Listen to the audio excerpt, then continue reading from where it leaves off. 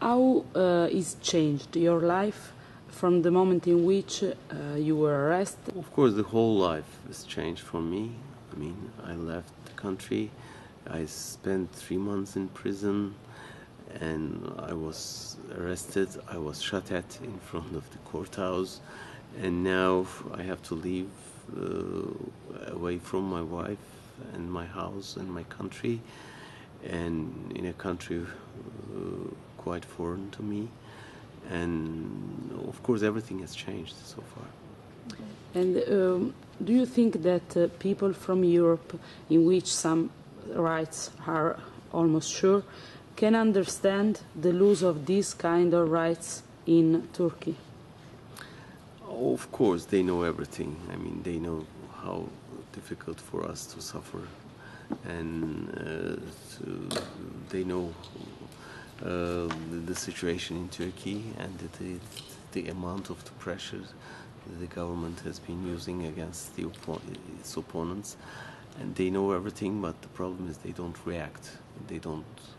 um sometimes they don't care. They don't. Sometimes they don't. They are hesitate. They hesitate to, to react. And why, uh, according to you, Europe mm, doesn't react? Just the refugees. I mean, they don't want the refugees come to European soil, and they don't. They want to keep them in uh, lock in Turkey, and Erdogan has been using that, he, doing that, and that's why they don't want to annoy Erdogan uh, by criticizing him. What can do now Europe? Yeah, they should be more vocal and critical about what's going on in Turkey, and they have to warn the Turkish government, and they have to stand by us instead of the government. Uh, You think that the prize, um, which you have the nomination, can be a sign from Europe to Turkey and to journalists?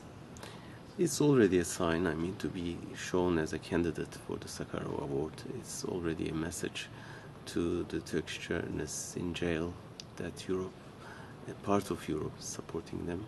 And at the same time, it's a message to the Turkish government that uh, Uh, part of Europe is not happy what's going on in Turkey.